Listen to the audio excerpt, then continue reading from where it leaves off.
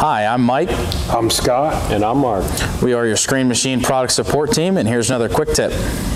In this video, we'll be going over, uh, we have a 514 TS3 triple deck Spyder screening plan here.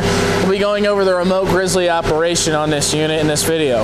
So we have another video on our 514 double deck that, uh, that goes over this operation as well. But I wanted to do one on this machine because there, there are some differences. So the biggest difference you'll notice is that the Grizzly tips this way and dumps on the control side of the machine.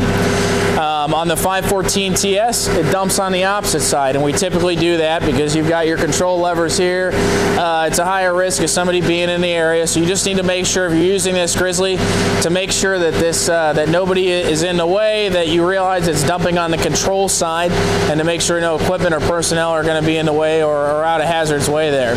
So we dump it on this side because on this machine we have a, an extra screen deck, which means an extra conveyor on the opposite side, so it's not possible to dump on the the other side. Um, so we'll go through the functions just like we did on the, on the regular 514. It's on the uh, it's on the remote control as well. It's not on any of the panels. Um, so what you're going to want to do, you're up in your loader cab, you want to dump the Grizzly. All you do is hit that Grizzly button. You'll see it raising up now. We've got the engine low and, and, and at uh, idle speed right there. It'll go a little faster when the engine's revved up, but it'll raise all the way up. It'll hit that pressure switch setting at the top end, and then you'll kind of hear a click, and then it'll go down and hit that pressure setting at the bottom, and then actually shut off. So this is a uh, just a one-click click type operation. You hit it once, it raises all the way up, and then it goes back down all in the same cycle. So it's almost all the way up vertical like that. You can see I'm standing well out of the way of any material. And it hits that pressure switch, it starts going all the way back down.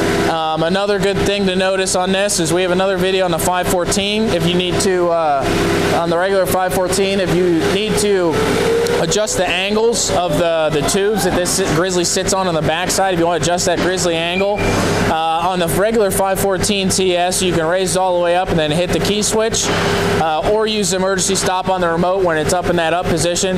With this one, you really don't want to get towards that, get underneath that Grizzly and on the key switch while it's raising up.